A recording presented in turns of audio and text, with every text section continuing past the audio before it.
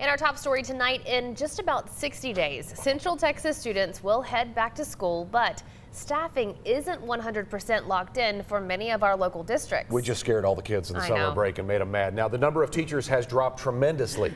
Six News reporter Bailey Bates explains why and what some of our districts are doing to close the gap. In about two months, Texas public schools will look like this 100% back in the classroom.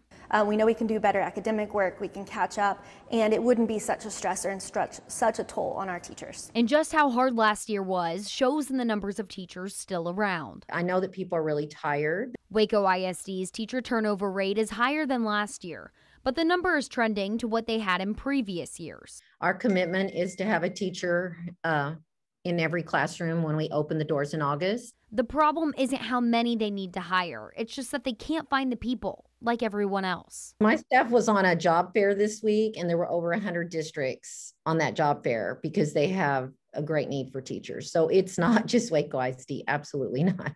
Many educators left the profession after the pandemic made a tough job even tougher. Midway ISD had twice as many people retire or quit this year than in a normal school year. Anecdotally, the things we heard were a little bit of fear of COVID. Some people were retiring for health reasons. Some were um, resigning or retiring from fatigue. Some really have opportunities to do other work with the way that the workforce is right now. And Giant School District Killeen is looking to hire 200 plus teachers. But it's not easy. Schools are having to get creative to bring people in, like bonuses, referral programs, and searching statewide. If you are new to Killeen ISD, you will get an immediate $1,000 for being a professional hire or $500 for being an auxiliary hourly employee. Maya says Killeen ISD had at least 14 interviews for teaching positions today.